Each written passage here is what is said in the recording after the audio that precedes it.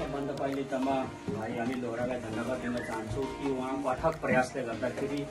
आज पुरा डुवर्स इलाकामा जो नानीहरू कराटेको विषयमा जानकारी थिएन आज यो कराटेको जो पद्धति छ सिकेर आज विभिन्न क्षेत्रमा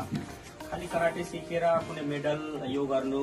त्यो अ, मानिलिनुहोस् त्यहाँ पार्टिसिपेट गर्नु योभन्दा पनि ठुलो कुरो जो छ हाम्रो जो छोरीहरू जो आफ्नो सेल्फ डिफेन्सको लागि आफ्नो जो बचाव गर्नु सक्छ त्यो क्षेत्रमा सबभन्दा ठुलो उपलब्धि हुन्छ किन भन्दाखेरि वर्तमान समयमा जुन प्रकारको परिस्थिति छ त्यसमा मेडल जित्नु कुनै खेलकुदमा अंशग्रहण गर्नु त्यो त जीवनको एउटा पार्ट हो त्यो त अंशग्रहण गर्नै पर्छ। साथै जुन हाम्रो सेल्फ डिफेन्स केटाहरूको माथि पनि लागू हुन्छ बहिनीहरूको दिदीहरूको लागि पनि यो लागू लागू हुन्छ कि यदि हामीले कुनै कला सिकेर राख्यो भने यो जीवनमा एउटा ठुलो उपलब्धि हुन्छ र आफ्नो अरू जग्गामा पनि राम्रो यो साथै जुन नानीहरूले चाहे त्यो ब्ल्याक बेल्ट भएर चाहे ब्रोन्ज मेडल जितेर आयो, मेरो तर्फबाट उहाँलाई धन्यवाद, अभिनन्दन टक्राउन चाहन्छु र भविष्यको लागि कि अझै जो इस महीना का जो एक तारीख था जो ब्लैक बेल्ट एग्ज़ाम किया, जो ब्लैक बेल्ट एग्ज़ाम में आप लोग यहाँ पे देख थे स्टूडेंट और हम लोग के लिए ये डुअर्स स्पोर्ट्स के लिए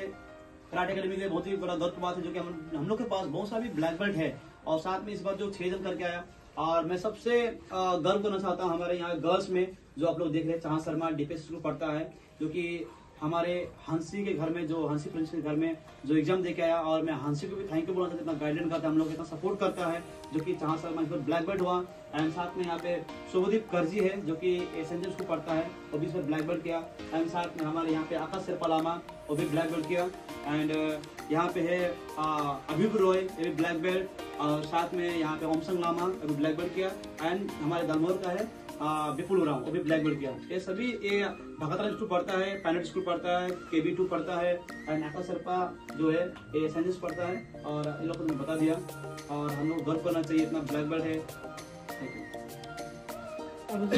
यू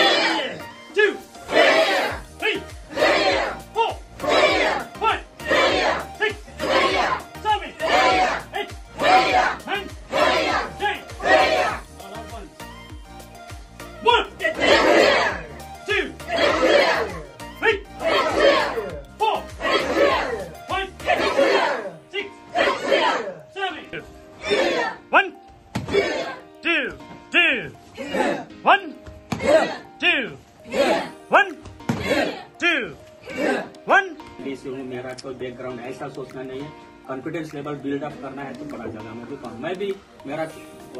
माँ पिताजी चाय बागान में काम करते थे मैं पढ़ा लिखा टीचर बना आज दूसरा बार एमएलए बना मुझे प्रधानमंत्री के साथ में बैठने का मौका मिला, राष्ट्रपति के साथ में बैठने। ऐसे अपने आप को आगे ले जाने का सपना देखना पड़ेगा। जैसे एपीजे अब्दुल कलाम देखते बोलते थे ना, आप सपना देखने से आपका सपना पूरा होगा। जब तक आप सपना नहीं देखेंगे, तब तक आपका सपना पूरा नहीं, सपना देखना पड़ेगा। लेकिन सपना को पूरा करने के लिए हम गलत रास्ता में नहीं जाएँगे, सही रास्ता से उस सपना को पूरा करने का प्रयास करेंगे